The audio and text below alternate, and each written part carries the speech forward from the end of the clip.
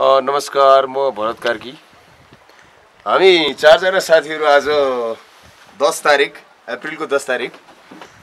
हामी रारा राष्ट्रिय निकुञ्जको यो रारा तालको छेउमा आएर बस्दाखेरि साह्रै खुसी लागेको छ। मेरो त पहिलोचोटि होइन अरू साथीहरूको पहिलोचोटि फर्स्ट टाइम भएको हुनाले पनि उनीहरू धेरै एक्साइटेड छन्। रारा एकदम राम्रो छ पुरै निलो पुरै सफा। अब यहाँको यो हावा चाहिँ अलिक चिसो छ ड्राई छ।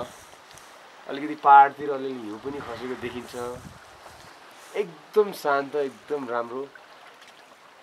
यस्तो लाग्छ कि यो ठाउँ भगवान्ले अलिकति टाइम दिएरै बनाएको। र अब यहाँ चाहिँ टुरिस्टको फ्लो हुनुपर्ने हो। नेपालीहरू धेरैभन्दा धेरै आएर यो ठाउँलाई हेर्नुपर्ने हो। टुरिस्टहरू पनि धेरै आएर यसलाई चाहिँ हेर्नुपर्ने हो। यहाँ चाहिँ एक किसिमले चाहिँ नेपाललाई नै चिनाउने चिज हुनुपर्ने हो। तर के कारणले गर्दा हो यहाँ चाहिँ अलिकति टुरिज्मको विकास भने जस्तो हुन सकेका छैन। अब